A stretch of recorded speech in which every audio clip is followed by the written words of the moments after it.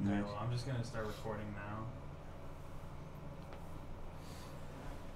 Oh god. Have you ever smoked, Alejandro? Of course he has. Really? Of course I smoke. He's fucking Oh, nice. So let's do it maybe after this recording or tomorrow. Tomorrow after eating. Oh no, you're not. You're not eating. You should join the first like few minutes. The podcast has already started. As a special guest, today we have a, a special guest. We Yeah, have Alejandro recording. from Yeah, that's the already first floor. started. Yeah. Okay, let's That's we how do it. let's get a beer. Close the door before he leaves. do, you, Okay, do you have some cups here? Like maybe three? I have one there and I have a mug. Okay, That's so I I can, I can join for about like Yeah, that's good. Yeah, sure. Five seconds. yeah. Okay. Can I have the cup? Yeah, of course. Maybe we should steal one of the cups from the kitchen too. oh, it is recorded? Yeah, it's So started. anything I say is a proof right now? Yeah, although I'm gonna close the door. Yeah. So we use this one cup and share it. Ah, I know there's shit in it. so it. Oh. oh yeah, sorry, I had tea.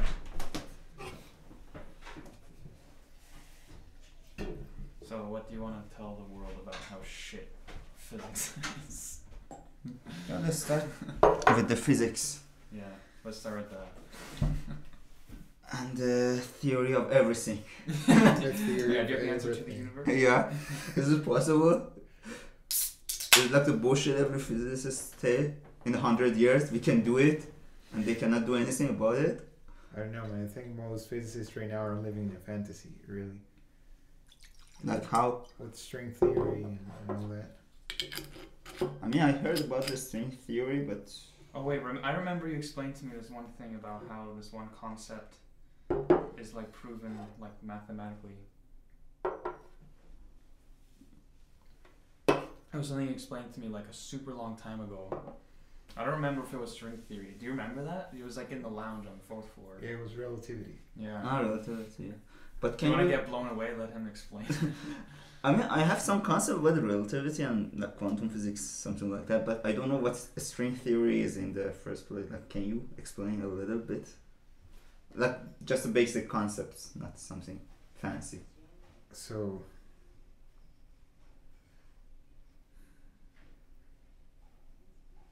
I know it's hard. no Yeah, pressure, man. No pressure. no, because we don't have background probably in physics, so it's hard. yeah, No, but he explained it to haven't me once though, and I understood it, but I forgot. no, but that was general relativity. Yeah, we'll go ahead with Yeah, that. Yeah, it's a Maybe you have no differentiate. about this. Yeah, so so I know so we studied this about relativity and it's that if you have if you have two two persons in space time and one person is accelerating at a constant acceleration, they're both moving in space and time. Mm. And there's something called the event horizon. Mm, yeah, I heard about it.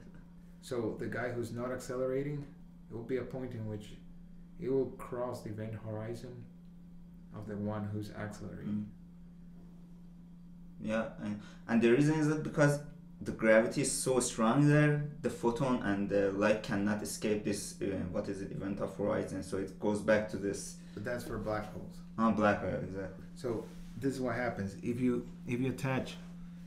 So anything that crosses the event horizon of someone who's accelerating, the person who is accelerating won't be able to to see what's beyond the event horizon. Mm-hmm. So this is what happens if you attach a string to the two observers and you let them move in space and in time. There's a paradox. Like you can think the moment in which one observer crosses the event horizon of the one who's accelerating, you'll think that the, that observer will disappear. Mm-hmm. Yeah, I see. But that doesn't happen. What happens is that for the ones who's accelerating, Mm. the observer will never reach his event horizon. I, I mean, um, read something similar to like from the black hole. When a person in, want to enter the what is it black hole and it, is what kind of touching the event horizon, he he enters the event horizon and he never what is it exit uh, from the black hole but from the observer he sees the person enter the event horizon stationary forever like uh, you have a what is it called constant picture of the person you can see it forever in the event horizon the minute he Yeah. enters the black hole yeah to you the person is there forever but he already passed it Mhm. because the light cannot escape and the light forever stays there and the thing is that in the physics the light is information and some philosopher says that everything is information like kind of information there is no matter and there is no energy. There is a space time and there is information through the space time so and you perceive it as energy you perceive it as a mass but as a whole it's just information in the world. So it uh, and the way you perceive the information change your mindset like this event horizon. The information is there consistently you see? So i don't know how it helped your point in any way. I think I think it's yeah it's, it's very related because for the guy who's accelerating, the other person will take um, an infinite amount of time to reach the event horizon. Mm. So we'll stay there kind of oh forever yeah forever. and So, Uh, like about this, what is it called? Parallel worlds. You said it's not parallel worlds. It's like other dimension that you don't have access to it. Yeah. so there are things like, for example. So this is this is what I kind of remember, and it's that. Yeah, there there are more dimensions, and for some reason, this dimension, or in this dimension or something like that, gravity is super weak. So all the forces that exist, the, the, the strong force, the weak force, is the electromagnetic force, then the gravity. Well, the first three they're super noticeable, like that they're strong. Yeah. But then gravity is weak, Because it works in the long distance, not in the short distance. something like that. I think it, it has to do with with um, like they're kind of I don't know, like circles or Mm. vortices.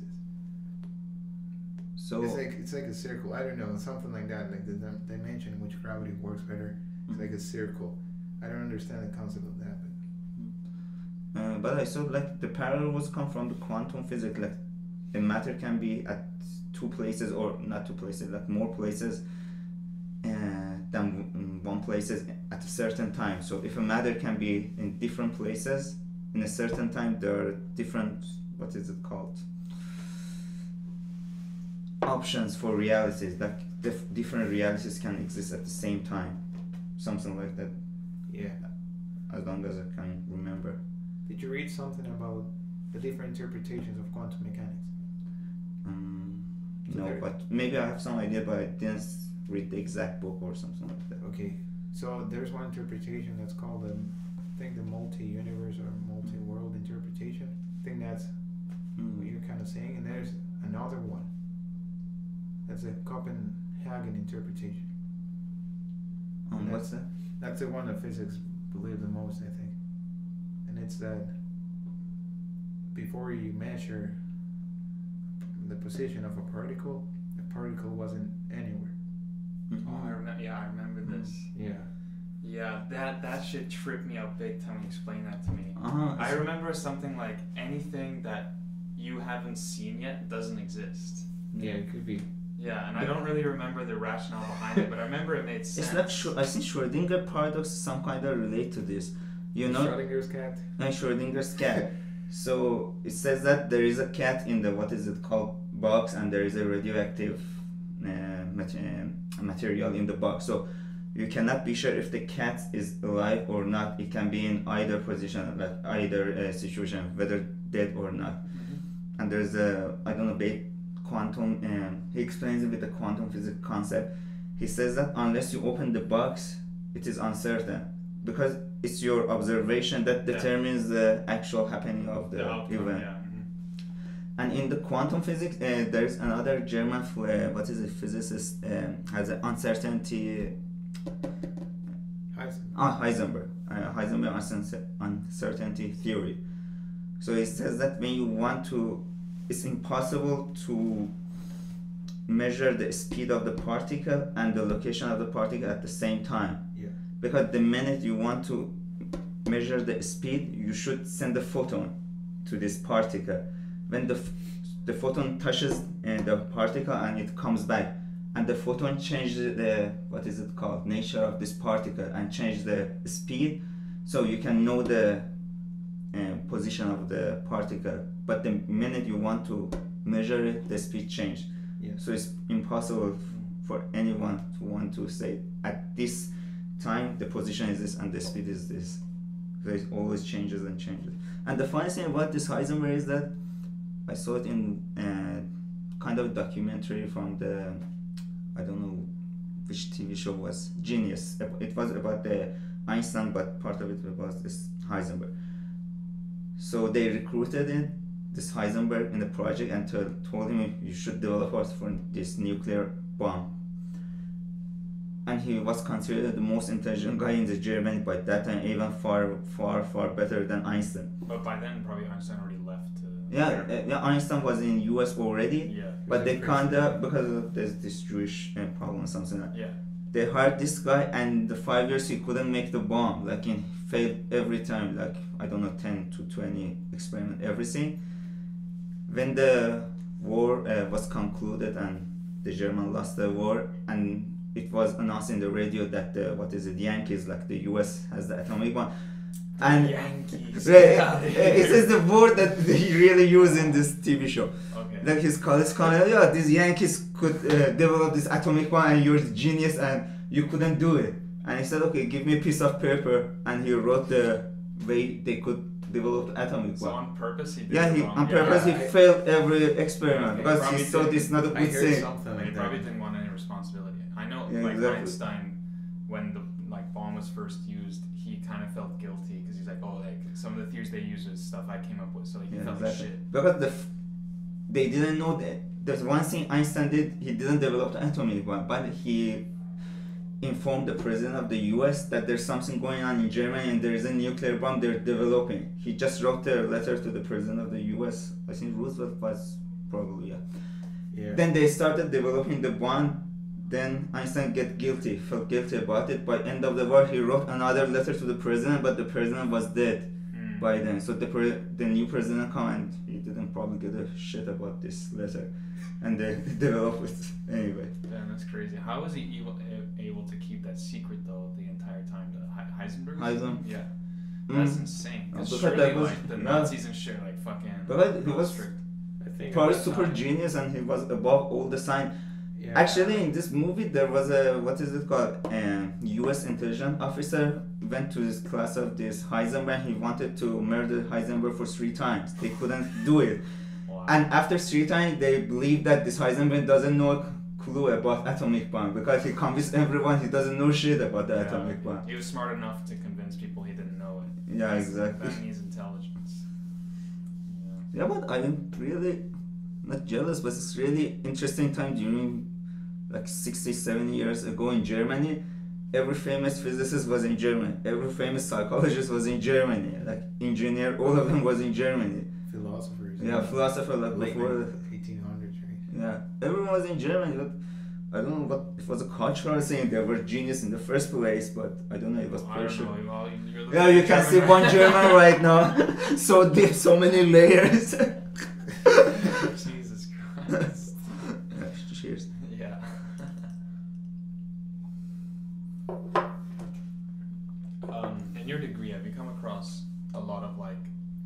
Physics in class, or is it usually just like theoretical stuff? Not really, just mathematics. Okay. But do you ever learn like, oh, so now we're gonna cover this concept which was invented by this guy and you're or this girl, and you're given a bit of context, but Yeah. it doesn't go more than that. Yeah, it doesn't go too Okay. much in that. Do you wish you did more? I'm pretty sure you know more terms, but for example, when you mentioned the, the Heisenberg's uncertain, uncertainty Mhm. principle, I know how to how to show it mathematically. It Mm. doesn't know what it's called. Yeah. But It doesn't I, make like I cannot go too much into the philosophy of it. Let's say. Yeah, I know. Because uh, there are two ways you can, what is it called, approach these scientific questions or anything. Like they said there are si- three different worlds: the world of reality, the world of logic, and the world of fantasy. So the world of fantasy is something that has a really, really less chance to happen in reality. The world of logic can actually happen in reality, but it, it may not. So there is no certainty that the way you think mathematically, it happened in the real world, and there is the real world that any shit can happen. Yeah. So about this general relativity, actually, Einstein can be the first notion, like the specific relative relativity, Special uh, uh, relativity. special relativity. I thought it was Poin- Poincaré. On That's- the that's what my mathematician, professor says. on mathematician, Yeah. So Einstein was in competition with this mathematician. So mathematician didn't have any idea, any shit about this physics thing, about the relativity. But with the mathematics, he could beat Einstein, improving the theory. And there, for one year, they were in competition. Like, you know, a person should come with the first with the idea, and this mathematician came first actually with the idea, but he made a small mistake then the Einstein get advantage of the mistake and he said, okay, this was a mistake, so I, I have a better solution. So either you can have a philosophical, not philosophical idea, more uh, pragmatic idea, or you can just go abstract, tackle the question. It's really interesting. You can have absolutely no clue and just follow the logic, reach a certain point, and there is no what is it argument about it. You know, a professor told us once, if you have a, an idea in physics, don't share it with your mm-hmm. mathematician friends, because they'll be able to solve the problem. And Yeah, faster than you. yeah. That's what's happening. The rivalry. Yeah, but do you guys study in Germany about this kind of thing? I don't know about. I the- never went to school in Germany, so I have no Oh, so you, oh, you didn't study. No. But for me, a person studying German should be really interesting. They talk about the philosophers, they talk about the history, they talk about I don't know. yeah. There are a lot of things to cover. Like in the past two hundred years, like for us in Iran, we cover something like really important for two thousand years ago because like that time it was really prominent and everything. But the past 200 and 300 years ago, there is nothing to cover in the history. It was, okay, it was like a lame. everyone sucked. We had oil, we had fuck. There was poor people, everyone was dying. there is no light in it. Oh my god.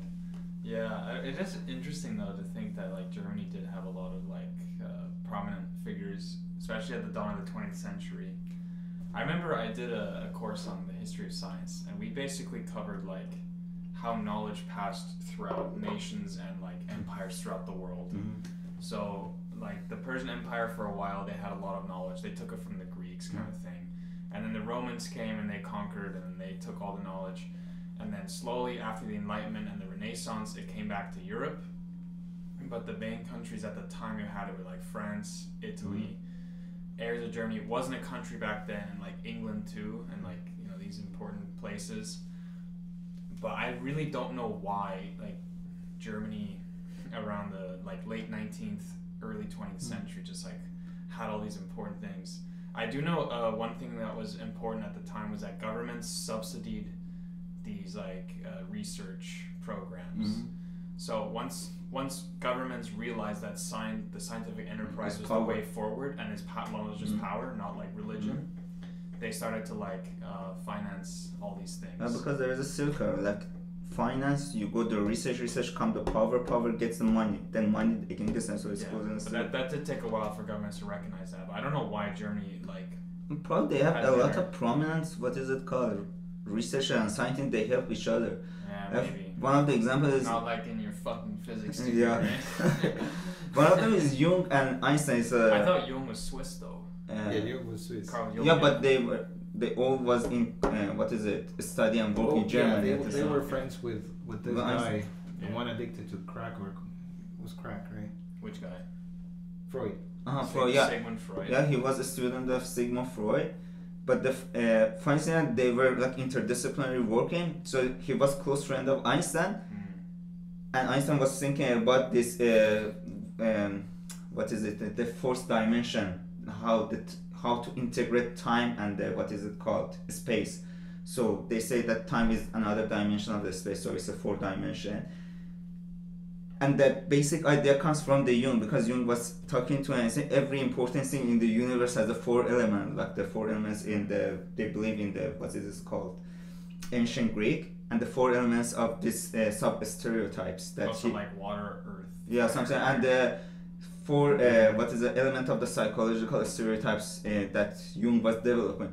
Then Einstein get the idea: what if the time has a other dimension, and what if the other dimension, uh, what if the space have other dimension, what if the other dimension is time? So they're integrated. Mm. So it is really really novel thing to think like that out of the box, because nowadays you cannot imagine it. You can imagine that the time is part of the space. It's impossible to think like that. Yeah. It's getting hard.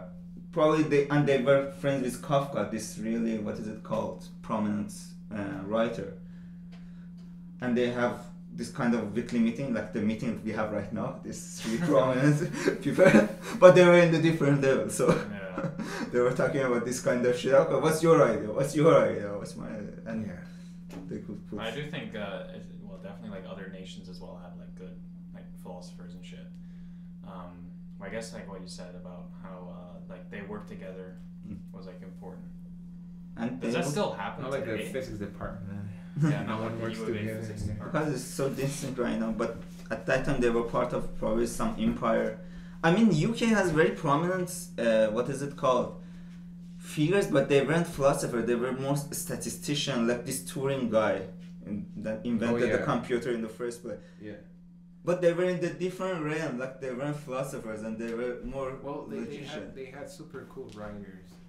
yeah, they are Like, writers too. Aldous Huxley, he was English, right? Oh, I don't even know. I think it was English. Huxley. Oh yeah, I heard the name, but I. He wrote Brave New World. It's a Mm. pretty like one of the most prominent dystopias of I think it was written in the 30s or the 50s. Yeah, it was a reaction. Yeah, usually the a lot of dystopian novels were like really important around right before and right after World War II and during. Mm. So like 1984 by George Orwell. George Orwell. Oh yeah, definitely. That guy. Um, like yeah, what else? Like this thing, Childhood End. That's a dystopia. It's written in the 50s. Yeah, plenty of stuff. Mm. And they have great theories and uh, what is it? Uh, what do you call it in English? they, they, they had the Iraq. Oh yeah, Rocky movie. And they had this guy Adam Smith, like the Adam founder of Smith, oh, the. he was capitalist- Scottish though. That's- Oh yeah. Yeah, Glasgow University. yeah. Like- Same with uh, David Hume. so they consider different country right now when they talk about they don't consider themselves as part of Britain or UK. Scotland? Yeah, No. Oh, they're just No. to- totally different. Like technically, yeah, they're part of like the UK because Mhm, like yeah, England right, and yeah. shit. But like they have their own parliament. Not I- everything. well, I, I'm no I'm no expert on this, but I, I think they've had their own parliament since 22 years now, so since 1997. So they have their own education policies, their own monetary policies, their own healthcare, Mm. um, you know these types of things. And probably there are different They people. really want to be independent, though. That's for sure. So what's But as far as I'm aware, the main reason why Scotland is not independent is because there's like oil in the Shetland area, Uh, and England wants to have that money, so they somehow like dominate keep, Scotland on the leash. I think a lot of people I've met in Scotland have said, yeah, if uh, if Scotland didn't have oil, Mhm. they'd be left alone. Yeah, it's like something like Middle East because the oil is not that important, so their US is don't care about Middle East anymore. They're going to the East Asia, Yeah. something. Like. But you see this movie Braveheart No, I, I've heard of it, but I haven't seen it. it. is about the problem with the Scotland and the UK, like Britain. It won the Oscar prize like 1995 or six. Uh, I don't remember the actor, but he was one of the most famous. McGregor. Um, no, it wasn't. I don't remember, but he was the director and the actor at the same time. Oh, also, like Tommy was Wiseau for. The Oh yeah, something like exactly. But probably a little more genius than Yeah, Tom. maybe a little bit Yeah. more. Like it talks about this problem with the Scotland and UK and their different religions and they how they were in conflict with each other. Actually, the Scotland could get the independent at that era, maybe 500, 600 years ago. But this hero, that the leader of the Scottish people, get betrayed by his own like peasants people, Oh, like for just a small coin, something like that, and they were captured and killed him. for what? a small coin. Yeah, because What they were because they were peasants and they like kind of people from the UK government like and suggest that if you give you money, will you hand him over to us, something like that. Oh. Because it was kind of popular and working with these poor people, like the peasants, and the people weren't like very powerful. Do you remember the name of this guy? Uh, Is it Robert the Bruce or some shit? Where's my phone? Yeah. Actually, I don't know where my phone is, but we can search it. Like the movie Braveheart, if you search it, you can like find the Yeah. real actor. Yeah, the, these things were all explained to me when I was in Scotland. I had a lot of friends who were like related to the Scottish history, but like, I forgot that shit like this. so yeah. Was it interesting? Like, How long are these pod- podcasts? Sorry. How long are Or however long we want. they? So I have to finish the. Yeah, Ah, the- fucking Christ. the physics Yeah. part. Oh well, you had your input though. Yeah, I have my input. Yeah. So Maybe we're still talking when you're done. yeah, yeah, maybe. yeah, probably. Okay, I have to leave you. Yeah, okay. The No physicists leave the room at now. Wanna Mark the mark the time. Ten forty. Alejandro left the room. I will see you man. Thanks for coming. Do you want to keep going or? Uh, Yeah, we can talk No more. Okay. Shit. There were some things I was gonna ask you there, but I, I forgot. The conversation was kind of all over the place. Yeah, I know it was But- just going from oh the well. different places. I'm gonna try this pretty soon. Yeah, as soon as I'm done with with this. yeah. No. Do you want to try this? Mm, yeah. Yeah, go ahead. It's, uh, I already had two beers in the game, so oh, I'm cert.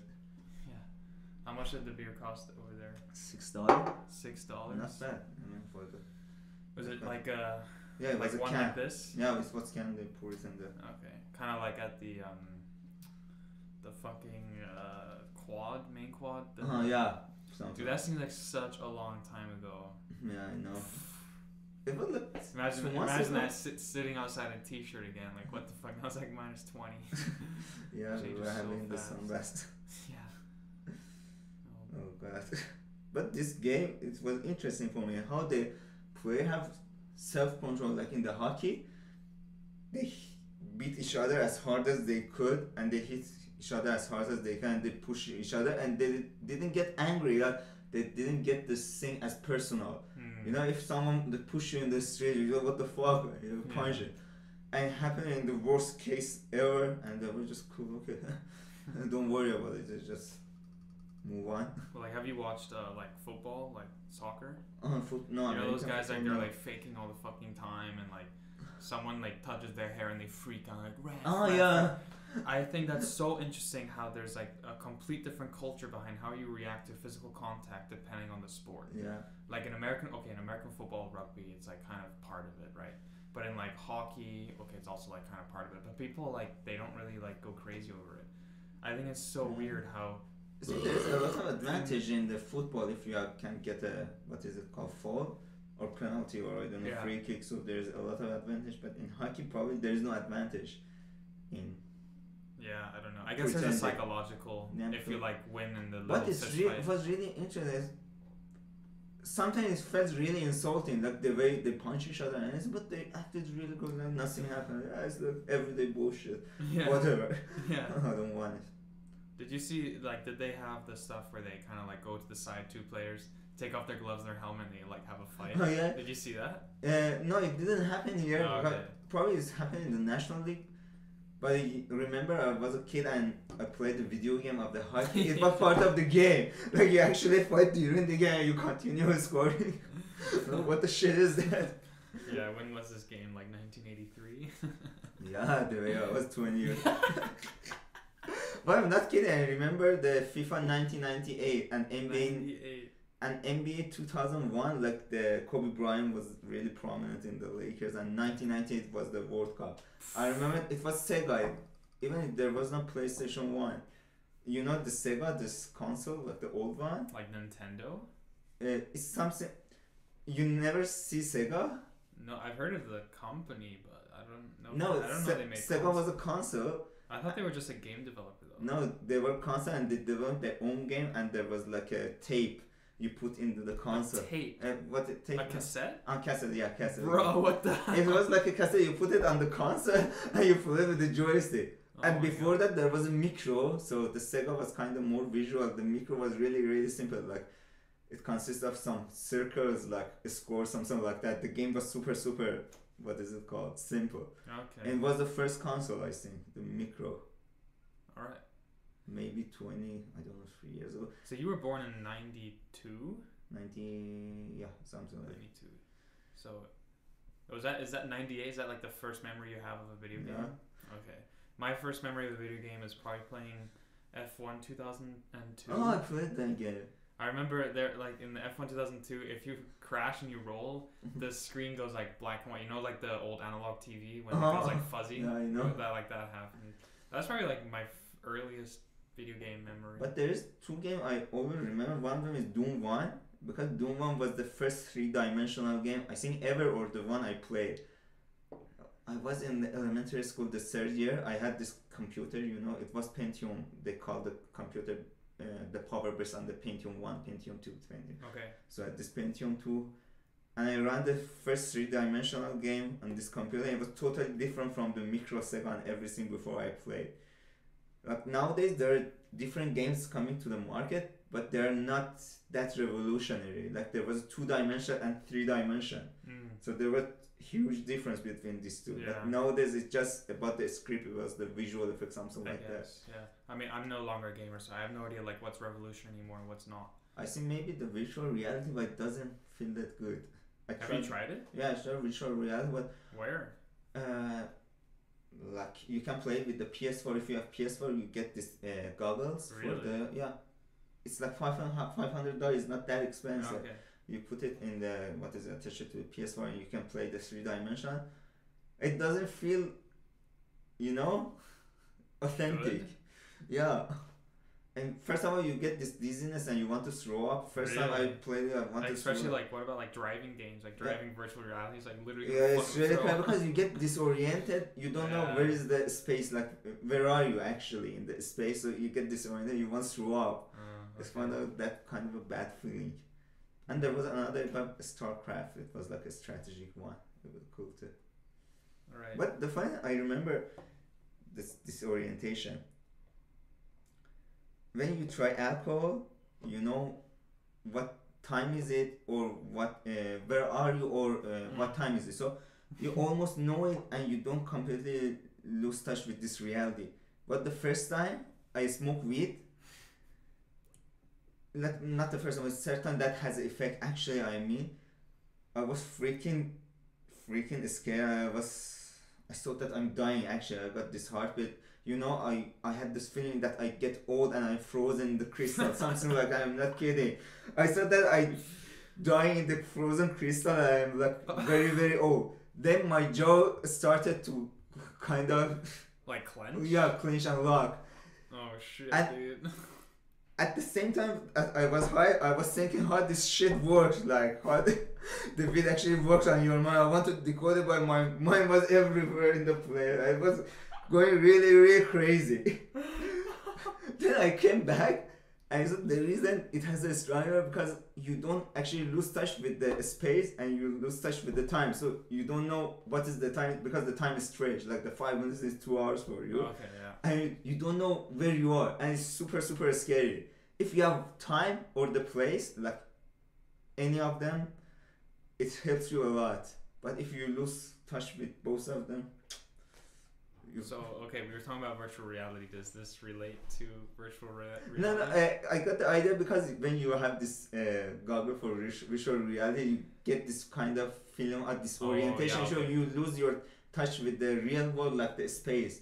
So you go somewhere between this game and this yeah. real okay. game. So you don't know where is the actual space, where is the actual time. It's So, all right, let's say you're in your living room and you're playing with these goggles and shit. Are you kind of like in and out of like, okay, you kind of know you're like in your living room, yeah because and you you don't. know you're also in the game? Like, is that kind of how? it Yeah, because you don't sit actually when you're playing with this visual You reality. You're, stand. you're standing and you're walking kind of. But do you have a control in your hand? Uh, it's not a joystick. It's just something you hold in your hand. So like what? Like a plastic device or? Yeah, it's like a the same material as joystick, but it's kind of small. You can And that's grab how it. you move. Like you hold. yeah, it. yeah, you can grab it actually with this. What is it called?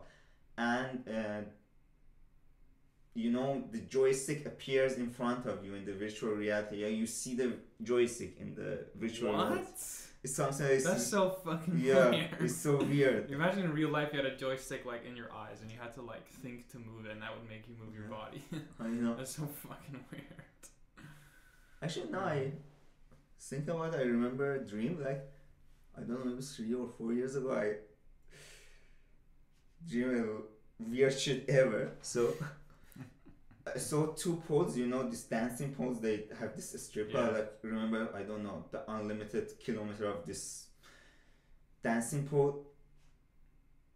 In the dark universe, like in the vacuum universe, like the background is dark, you're in the middle of a space, and there are two poles. Mm-hmm. I was like uh, grabbing one of the poles with my uh, like left hand and the other with my right hand. I was like stationary, so I could actually see what's going on in front of me. Okay. Then I lost control of one of the poles. So my field of view actually increased. So I didn't have the limitation when I put the two. Uh, what is it called? Uh, this dancing pole. Yeah. So it gave me some kind of freedom. But when I lost the another pole, it was too much. You know, when you have too much freedom, you're kind of lost oh, okay. in the situation. I could rotate in the space, but I didn't have a reference point. Then I didn't have a reference point, I didn't know what the shit is going on. Then I woke up and I was kind of thinking about the dream. I what the fuck these two poles were. Then again, I thought thought about like the one of the poles should be the what is it called? Space. The other sh- pole should be time. Ah, yeah. So there are two curtains. Like they say, space and time is, are two curtains of the what is it called perception. Okay.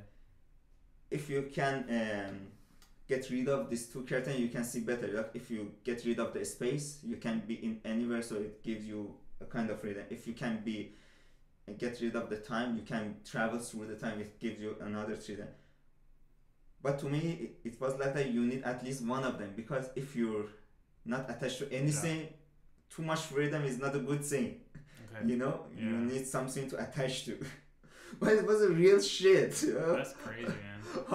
Cause you know, like I was just thinking, like a lot of like philosophers or whatever, they have like this one thing on life that they can like understand differently. yeah, I know. like I don't know, let's say it's fucking like Rene Descartes and his whole like thing on the, the logic, you know, getting rid of the poison apple Mhm. and all this kind of stuff. So maybe you just had like a moment where he's like, oh fuck. Yeah, I woke up. Yeah, I found it. Yeah, like, like, have you researched if that stuff's already been thought of? So it mostly comes from unconsciously because you have all the data. Probably in that time I was reading about this kind of shit like the philosophy, Uh-huh. psychology, but I didn't know the relationship bet- between them and I couldn't analyze them because in the when you conscious it's too much for your brain to what is it interpret and analyze all of this kind of thing and you cannot translate it into the language that you can actually understand when you sleep the thing happened in the dream it translated to the way that is understandable for you and you get rid of this anxiety because if you cannot handle something it brings anxiety Yeah. Okay. so in the dream, it's kind of translate that you can understand better. You know uh, this uh, chain of the carbon, uh, what they call it, hexagon.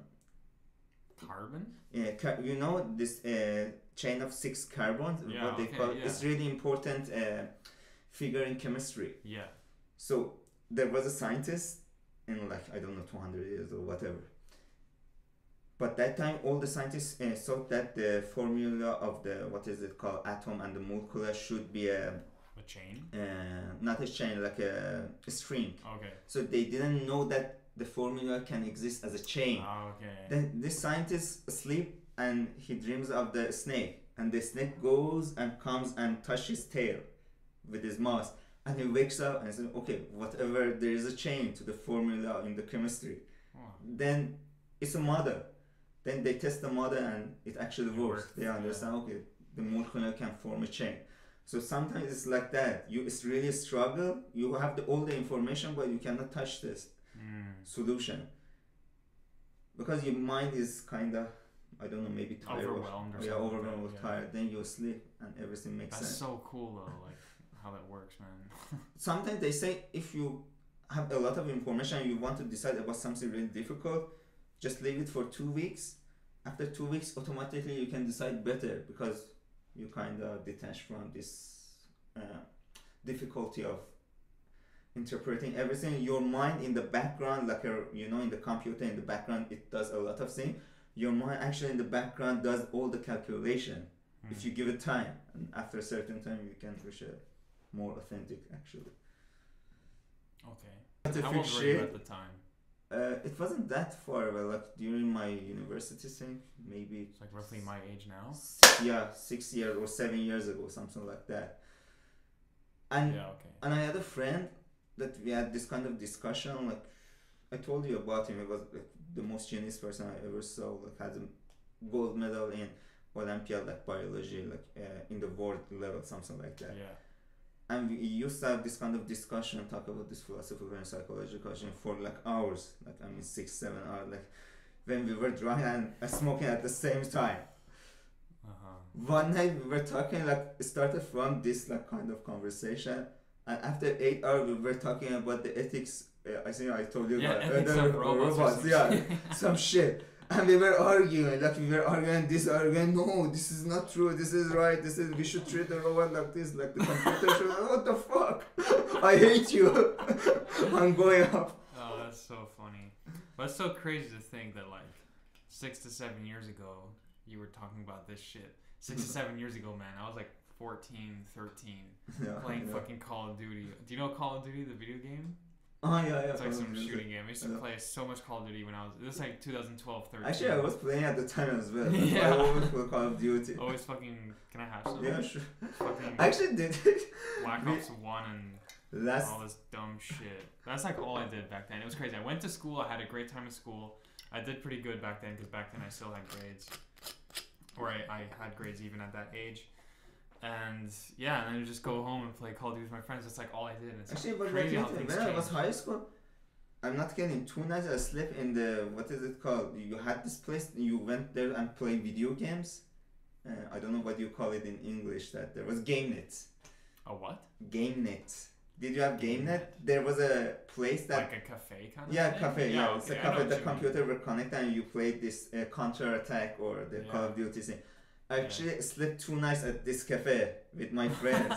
when I was hired, uh, we were playing like twenty four hours, something like that. Then my first exposure to this kind of books when I was like in. I wanted to enter the university because my sister used to read something like that, like I don't know Nietzsche, Schopenhauer. Then he, mm-hmm. she kind of introduced me to. Oh, Is she oh. older than you or younger? four years older. Four years old. Yeah. Okay, yeah. Then she introduced me. No, it's a good book if you want to read something. Because I already know there's something wrong with this, my belief and everything. Like,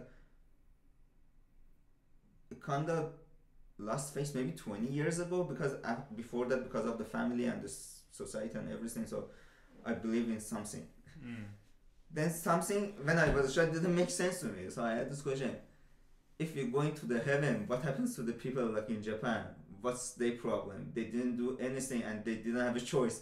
Why should should they go to the hell? so you know this kind of question they you don't have an answer and your parents doesn't have an answer to and because they just believe it and if you refer to this every I don't know holy or unholy book something uh, you don't find the answer Mhm.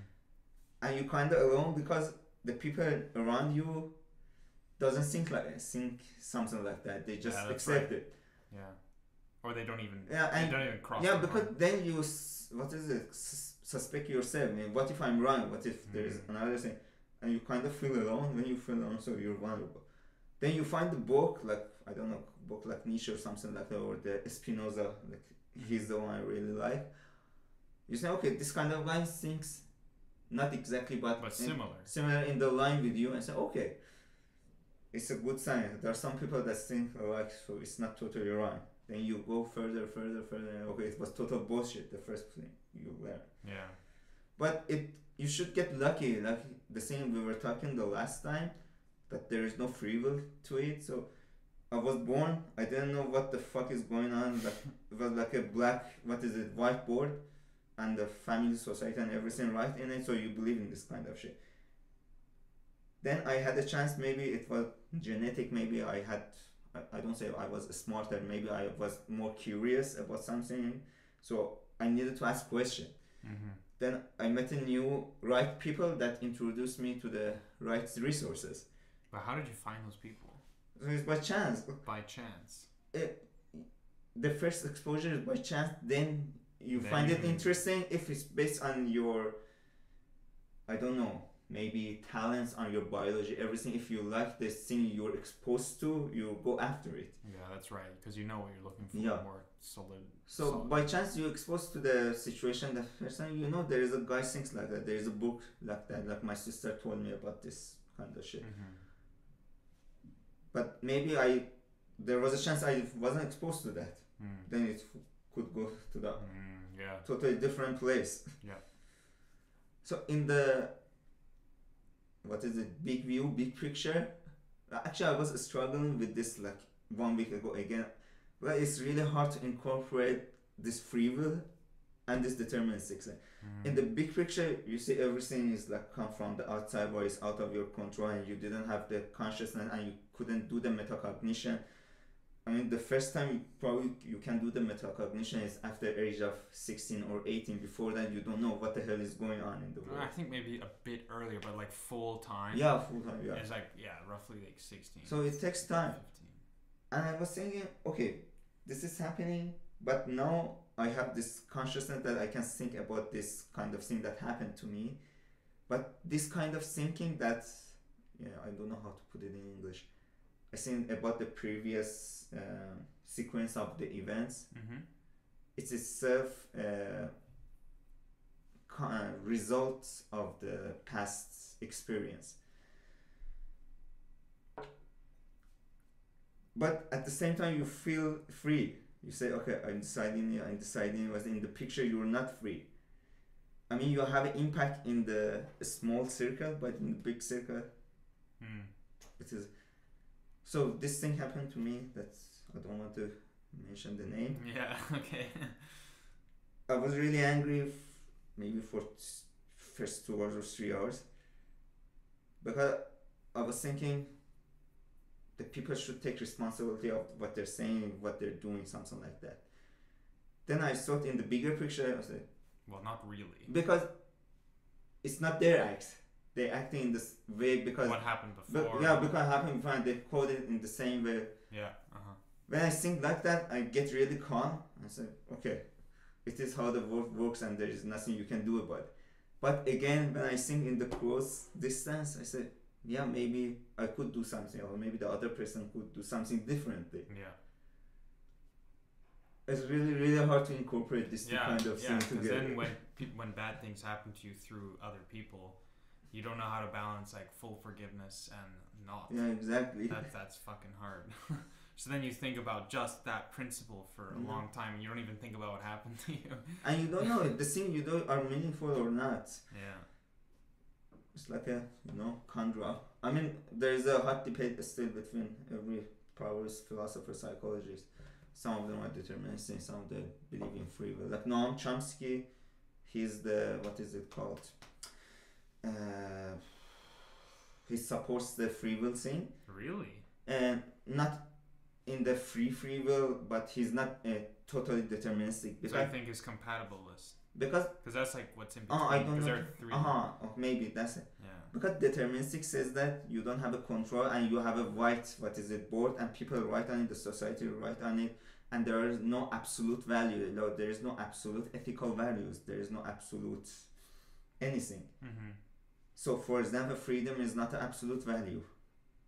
Okay. One of the same determinism. Every ethics you have, you made it so the society can work and hold together. So it's good for the society. You have this kind of ethics, like the murder is a bad thing. Mm-hmm. Yeah. helping the poor is a A good good thing because first of all you feel good when you help the poor you feel good so it gets uh, you get rid of the anxiety and the poor doesn't what is the kind of protest against the rich Okay. So- but in the view of Noam Chomsky it's not like that Noam Chomsky there is a certain category in the mind that it is decoded for the freedom so people are coded to go after freedom so in that regard that's deterministic though. uh, If you already.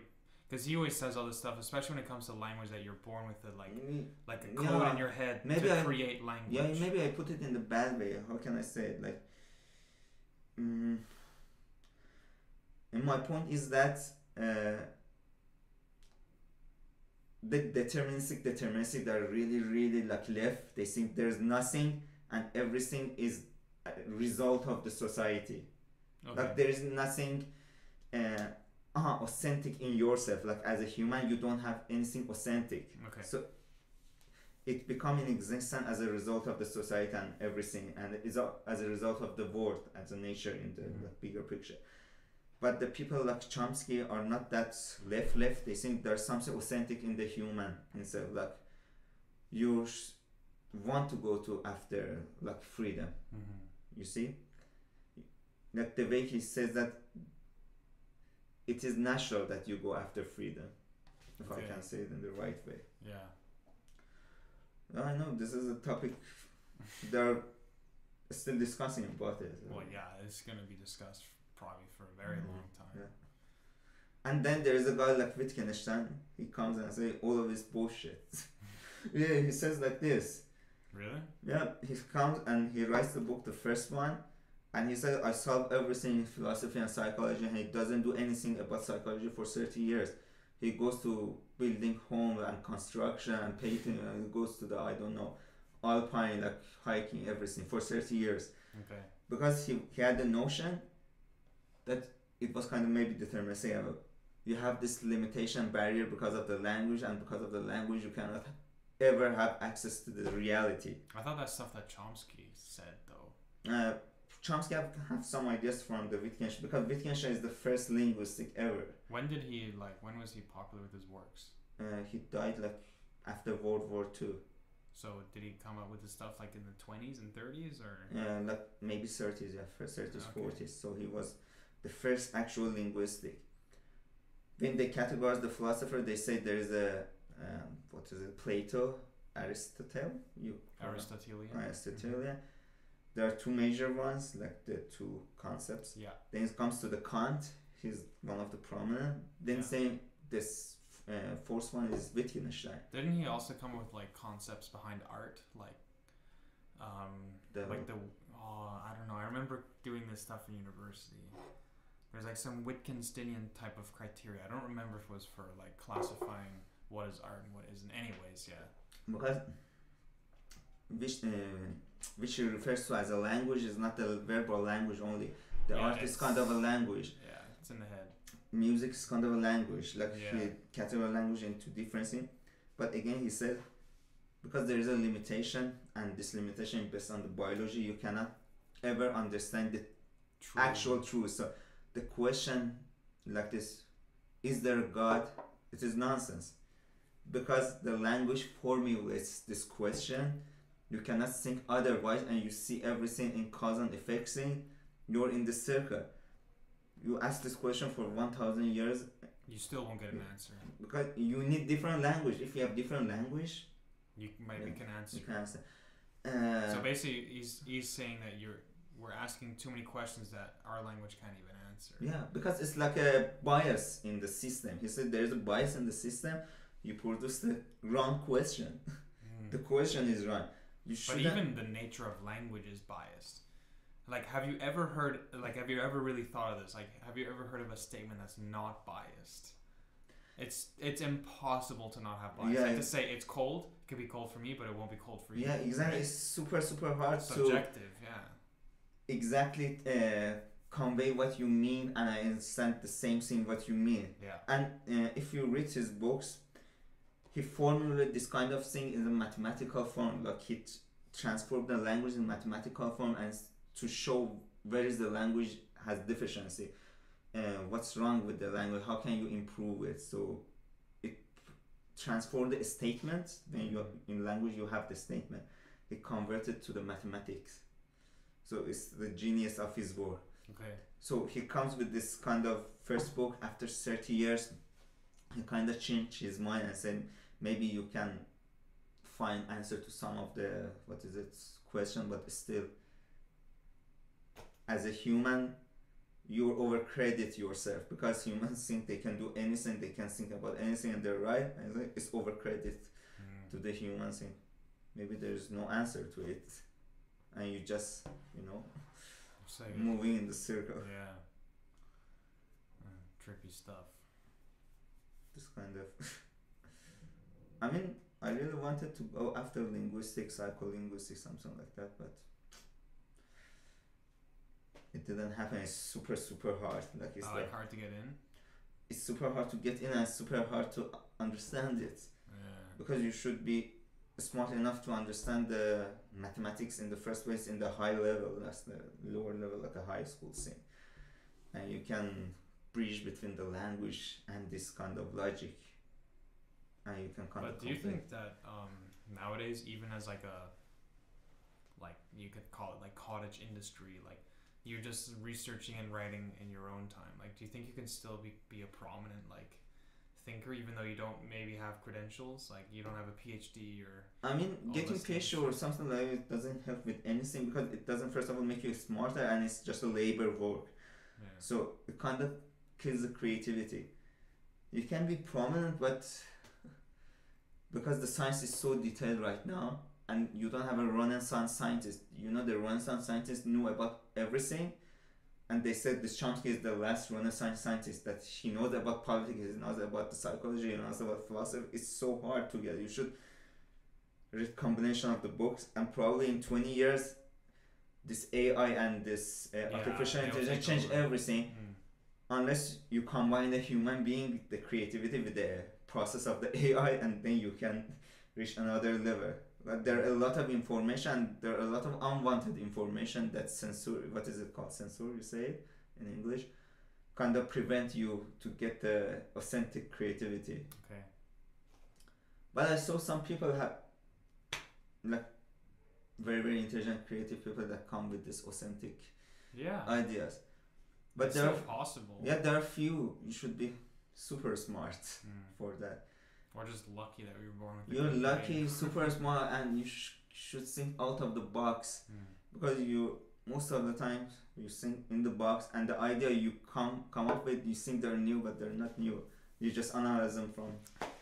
Yeah, because I bet there are a lot of things that the way I see the world and life, and if I did my research, I could realize, oh shit, that many people have already published stuff on this.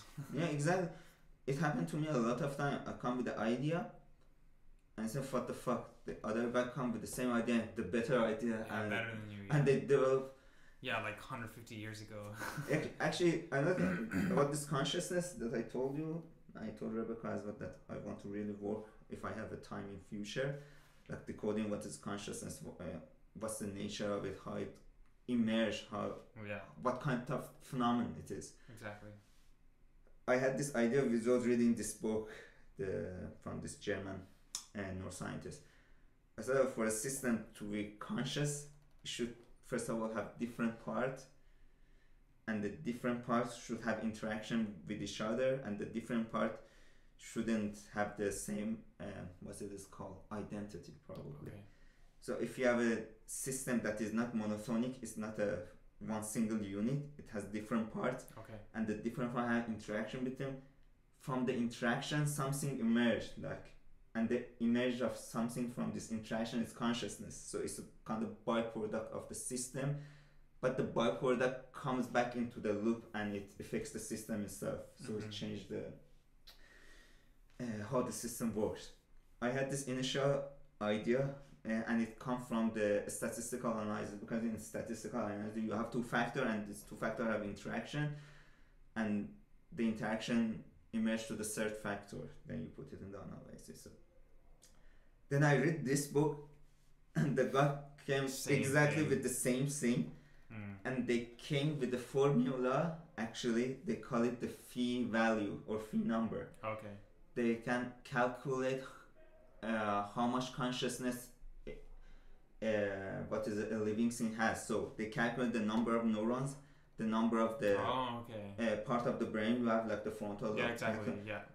And the nature of the connection. And they have a model, and the supercomputer actually calculate this, and it comes after like very very complicated yeah. thing.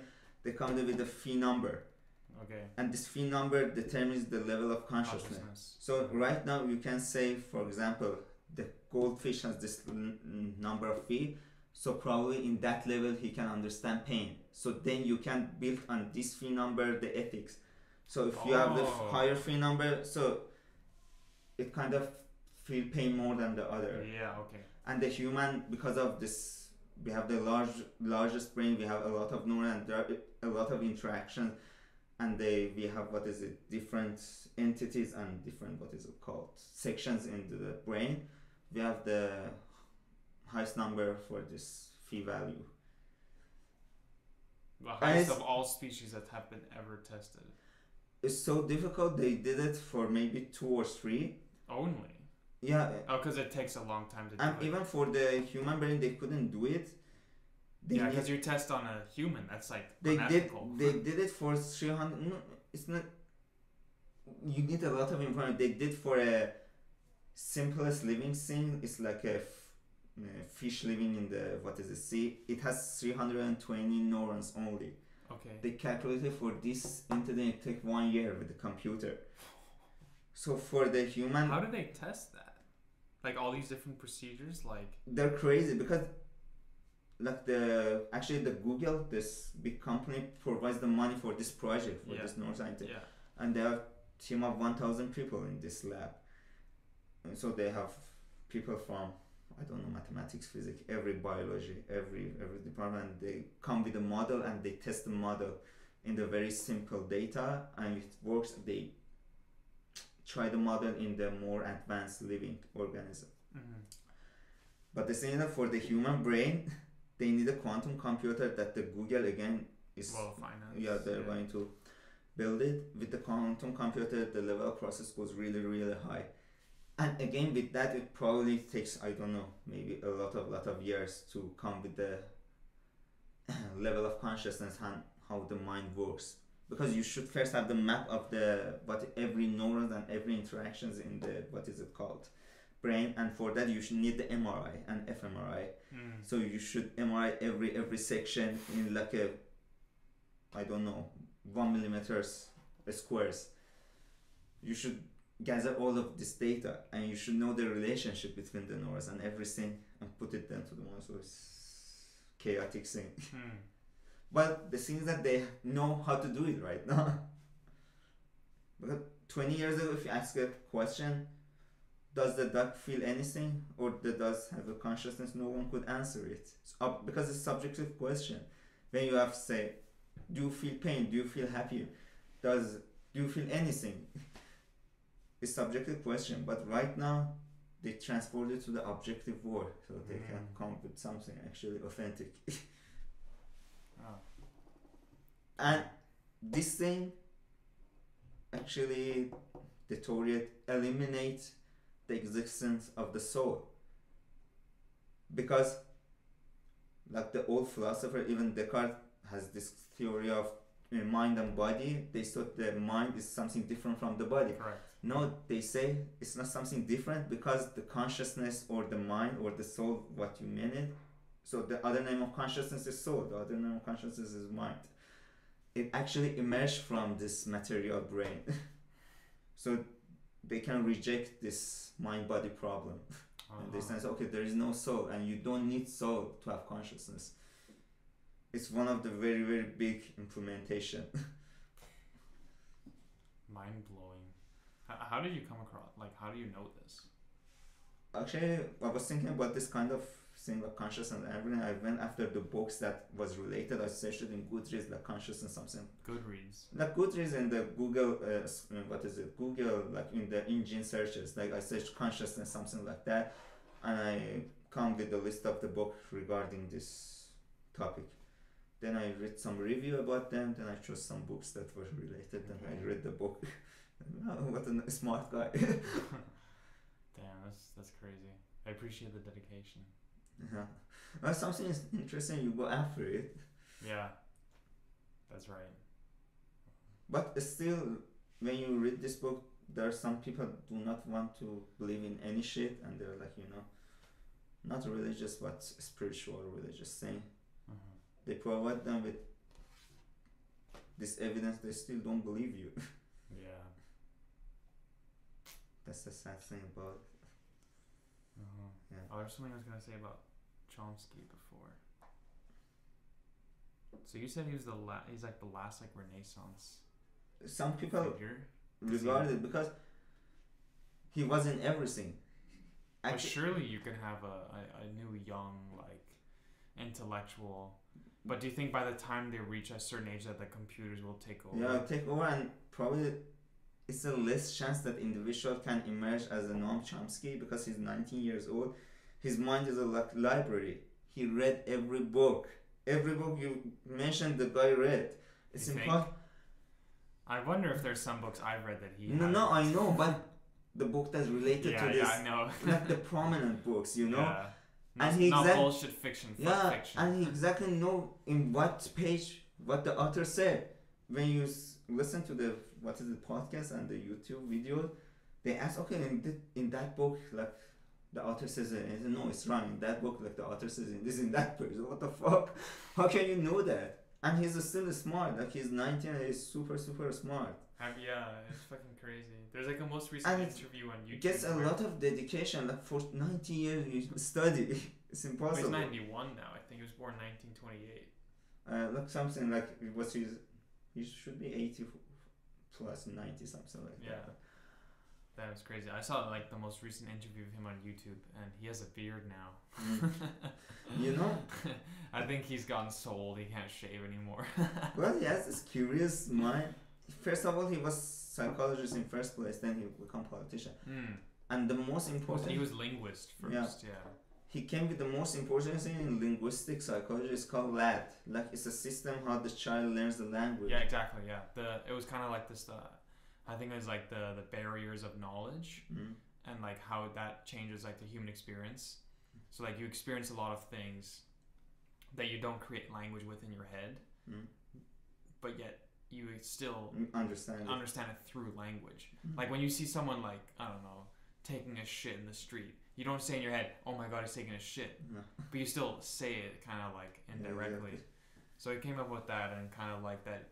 There's like a biological code in our heads that creates us Language. to create. It's to like language acquisition system or something like that. This thing is Super interesting. and he stuff. says that everyone has the language like the language this way you, talk english i take persian and the other girl speaks like french they are the facet of the language Yeah. you have the language it takes form like every person every child until age of eight they have the what is the chance to learn the language automatically you don't need to teach them anything Until eight. yeah, until it, if you're exposed to the language, you learn it. Or maybe it was younger, I don't know, seven or eight. You don't need. Now, if I want to learn a language, I should learn the language. You have to actually like. But this language acquisition system is that if you just expose the child to the society, it learns it without any difficulty. This is the main idea. And he says it's like a, you know, it's like a matter. Language is like a matter in the child. It, it just get the form. So it develops to English, it develops to French, it develops to, I don't know, something like Mhm. else. And the reason after age of seven, you cannot learn automatically because these neurons kind of get fixed. They're not that flexible anymore. Okay. Because you get exposed to one thing and the neuron branches in a certain way. Okay. But at, after age of seven, there is a what is it called? Very not cutoff point, turning point in the branching of neuro. Uh, what is it in neurobiology? This kind of get fixed. The other uh, important point is age of twenty, and the other is thirty. So by so age yeah, exactly. So by age of 30, if you want to have a specific personality, if you have specific worldview, everything, you should develop it by age of 30 because after age of 30, it's not for all people, but for 95% it's like that. It's almost impossible to change a person after age of 30 because I mean the neurons branching, the neurons kind of reviving as what they produce, but the rate is so slow Mm.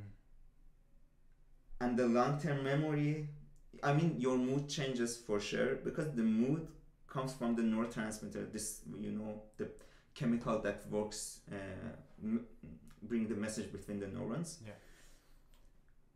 the quantity and the volume of this neurotransmitter changes always but the personality your attitude your belief based on the branching and the pattern of the neurons and it is the long-term memory Mhm. the long-term memory is the way the neuron branching, the short-term memory is the way neurotransmitter for. Okay. So the branching doesn't change that much at after age of thirty. Damn. So it's difficult. Uh, some people like very you know optimistic people in the TV said no you can change forever like you know at 40 50 we had the case like the man in the age of 60 become the rocket star fuck from the trash can I don't know something bullshit like that maybe Some people, few yeah. people or maybe the guy actually had a potential he was When he was younger, but he didn't use it. yeah he was in the I don't know bullshit country then they move it to the US and he become rocket star it's possible but in general it's really difficult Mm. while you have time you should work on it. Do you feel like for you time is running out then, based on that principle? mm, you know this is the problem when you know about the system the system changes in nature you know Okay. I mean, yeah, I can understand that I'm different from eight years ago because eight years ago I was more versatile, maybe. Yeah. But no, maybe I have more rigid concepts. And you can see in the very famous scientists as well, like again, Einstein. He wrote four papers, like the breaks, uh, groundbreaking papers of the Einstein. They came when he was in age of 30, like 20 to 30 like about the relativity, about like discovering the molecule, and after age of thirty or thirty-five, he was developing the first ideas. He didn't Mhm. come with something really really novel. And it's true with the other scientists as well. I only have 10 years left, Mhm. man. I mean, it's not absolute. Nine, nine now. Actually, if you read the Schopenhauer books, it's really really interesting. Um, I mean, he's by far one of the most smartest guy ever in the history. The way he see the distance is incredible. He said, "You see the book from the author, like he's really famous, and the picture of the author is in the old age. hmm Like the even Schopenhauer, if you see the picture, he's in the old age. Like the Einstein is in the old age. That's right, yeah. He said, why they picture the authors in the old age?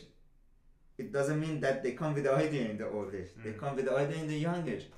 But it took for people, the generation, to understand it. So it took for other people 30 or 40 years Mhm. to understand it. So by the time the other people understand the idea, they were already old. So they published the book with the face of their when they were old. okay, yeah. Uh-huh. That But like Schopenhauer wrote his book, like the word I see and I will, like the most important one, when he was 28 years old. Crazy thing.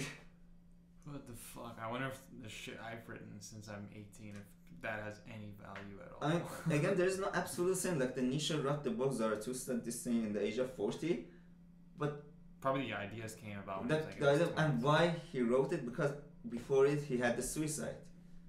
Really? He, he did suicide before writing the Zarathustra, and the suicide changed his worldview. So mm-hmm. there was a big thing in his life. Then he transformed into this, writing this kind of book. Okay. Yeah, but the thing is that try faster. Yeah, fuck, man. Time's running out, man.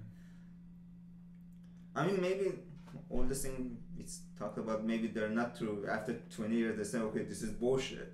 we find that there is a. They're new. Yeah, neurons are branching forever, or something like that. But for now, maybe there's some drug that will allow you yeah, maybe they accelerate the Yeah. activity of the brain. it's possible. yeah. I told her about this helmet because they nowadays they're doing it. They put a helmet on the military of the US. It's gonna turn off the amygdala, and when they turn off this amygdala, the soldier doesn't feel Yeah, fear emotion. and pain, Yeah. mhm. and they become more accurate because if you don't have fear, you become more accurate in aiming. How do you turn off the amygdala? Uh, like this uh, helmet, yeah, they call it. It sends a frequency that is the opposite of the frequency that works in inside the amygdala. Oh So they God. decoded the amygdala frequency and the electricity, what is it level, and everything physics about it, and they counterbalance it actually. Have you heard of the TV show Black Mirror? Oh yeah. That's literally that shit. Ah, the helmet they put and they see zombies, something like Well, that. uh, for example, I don't, I haven't seen all episodes, but I know there's one where they like Yeah, have this exactly. chip behind the ear, like where you can remember everything and can like turn it off or on, or like Yeah, rip it out. Sounds like that type of shit. So it's like biological engineering. Like you change the human being. Yeah, that's fucking crazy. Can become smarter. I know there's like a lot of evidence that like um, psychopaths, like their amygdala's kind of like malfunctioning mm-hmm. because they don't feel like emotions when they're like committing murders or whatever. Mm-hmm. so, th- so they like, for example, they can lie really well because they they know what the laws are, but they don't appreciate them. So if they have like a corpse in the fucking car, like and a cop mm. pulls them over, they're totally chill Yeah. because they don't have the emotional They don't thing like, oh fear. fuck, there's a fucking body in my car. They're like, Yeah, whatever, yeah. it's just a normal fucking day. So they get away with a lot of stuff.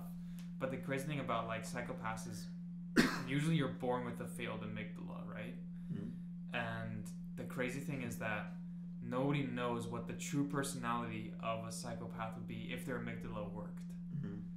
Because what they did in real life was based off of, you know, the deterministic Mhm. factor of, you know, their brain was a bit fucked or whatever. Yeah. You have no idea what their true personality would be if their amygdala was fine. So how the hell do you know if you can like um, justify their actions or like you know put blame on them, put Yeah, them in exactly. jail, like whatever this kind of thing. That's the main point.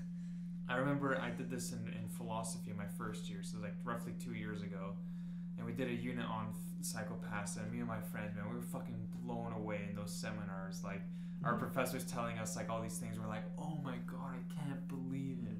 Actually, it was so crazy.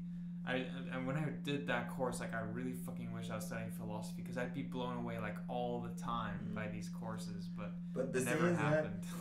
when you see the punishment, like the reason they do the punishment is that because they want to detach this person because they're not good for society. If they're in society, the society doesn't hold. Yeah, So they just put it in prison so they're not in touch with society. yeah, But the important thing is, it's like a coin. Everything you see, like you understand, you see, you should see the other side of the coin as well. Like when you see the person did a wrong thing, like kill someone, shouldn't punish them. The other coin of that is overcredit. The person does a good thing, or the person is a, like a saint. You shouldn't credit them as well. you That's a- shouldn't. you should because the way they're doing this good thing, the way they are the saints. I I I don't say you shouldn't appraise them, but you shouldn't appraise them a lot. That they did something extraordinary.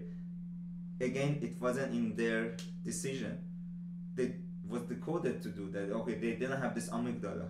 hmm They had a good family. They were rich, so they could do the good thing. Mm. It's a you shouldn't do the over credition as well. That's what I'm saying. Like okay, over. Yeah, or you Yeah. shouldn't over credit the person for it. But some people are proud of themselves. Ah, we did we did the charity. We, uh, we did this. We did it like the founder. What is it? Bill Gates, for example. Yeah. I don't say he's a bad guy. But the way he can help other people is because of the capitalistic system. If it Yeah. wasn't capitalistic system in this first way, he couldn't do it.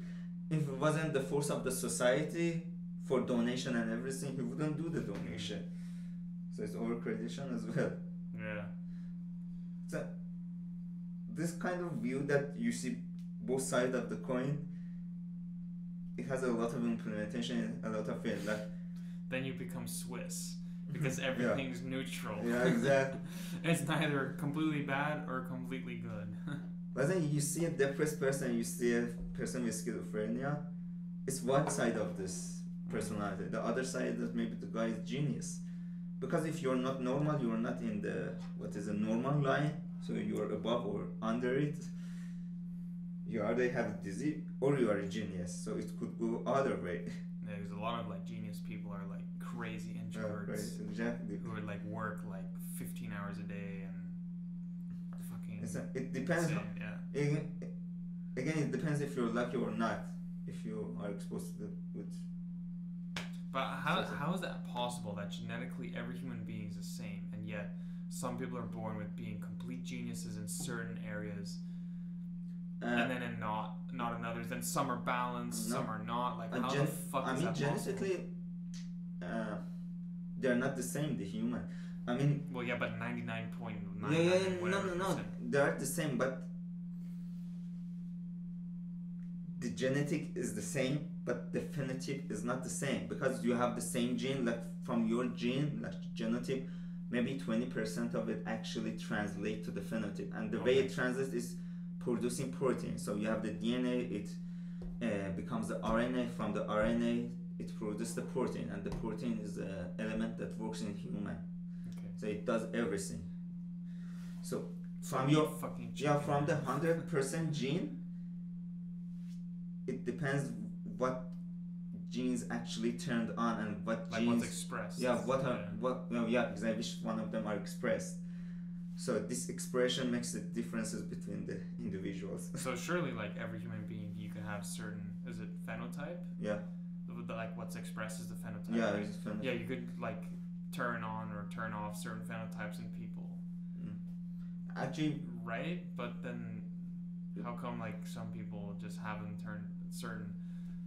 Uh, because it comes from your parents. Like if your parents express some certain proteins, uh, you inherited uh, that kind of gene that that certain phenotype should express. In other person, that phenotype doesn't express. So it's a different protein in that person, and it's a combination between the gene, like this phenotype, that emerge to the behavior. So, for example, there's a thousand proteins, like each one of them is responsible for certain tasks.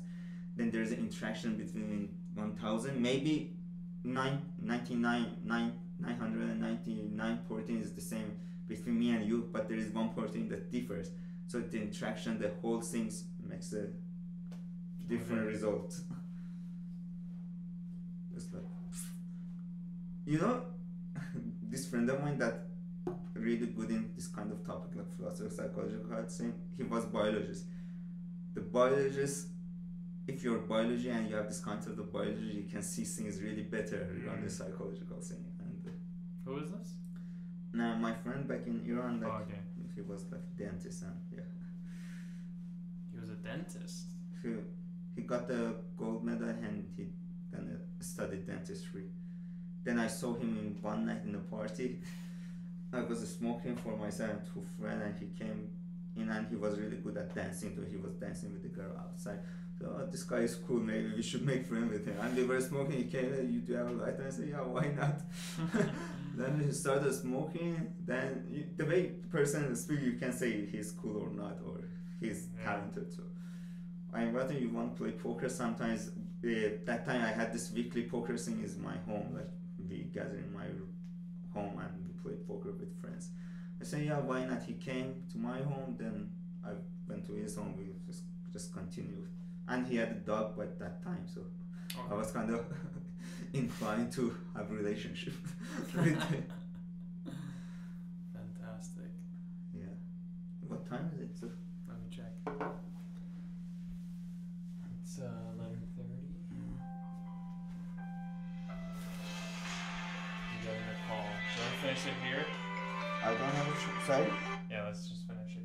Let's. Let's get this.